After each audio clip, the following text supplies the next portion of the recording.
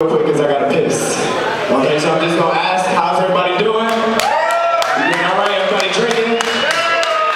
Yeah? Anybody bring their feelings? All right. You say that shit now.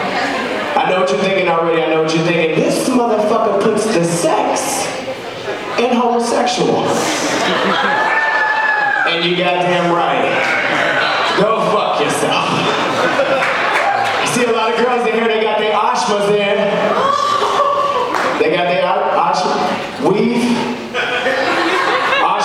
Ashma my Indian friend's name, and uh, since most weave is Indian hair, I just decided to clash it up a little bit. You can take that home with you, ashmas, extensions, weave.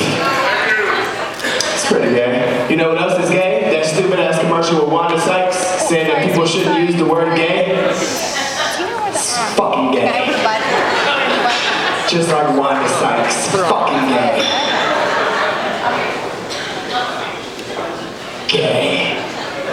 That's right, goddamn. Um, I've been doing a lot of drinking lately because, you know, it's been St. Patrick's Day, all that shit, just because I'm an alcoholic. And uh, I go out and I meet these new people, and they, they start off so cool, and then they get drunk, and they turn into a fucking douchebag. You know what I'm talking about? The dude, he's like all macho and shit. He get drunk and he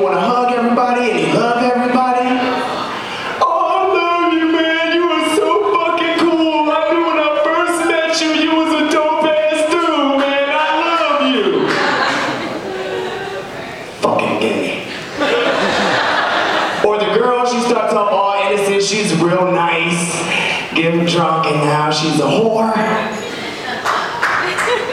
You know, I'm not talking about flirtations, I mean like full fucking fledged whore.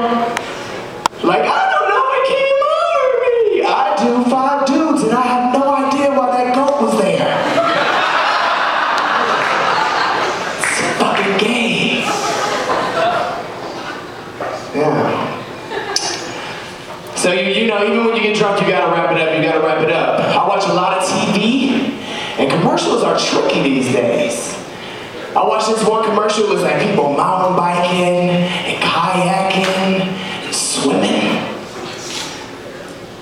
And then it was like, don't let herpes stop you. What? I don't down the fucking number. I'm thinking it's like a commercial, but come visit Montana or something. I don't know. Who does that? The worst part about it is like, is it an actor or is it somebody who really has herpes? Because if you have herpes, why would you want everybody to know?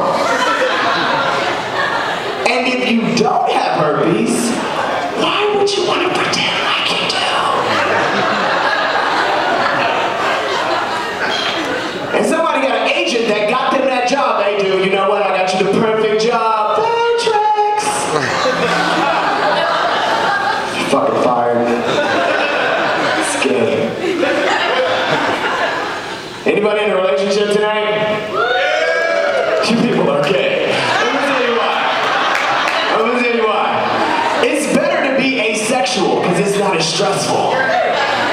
Yeah. It, it, it fucking sucks to be in a relationship because first you start off, you like the person, and then you hate the person, and then you love the person, and then you're stalking them.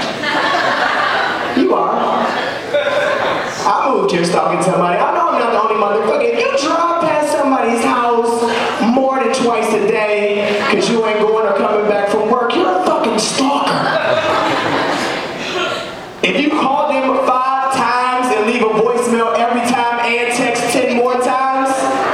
and I ain't saying shit back to you, you're stalking them. And if you sit outside all night, drunk as fuck, listening to Michael Bolton's greatest hits, yelling at the door, holding a goat, you're a fucking stalker. And you're at the wrong house because you're a fucking alcoholic. Yeah, that's what me, what are you doing with that goat, dude?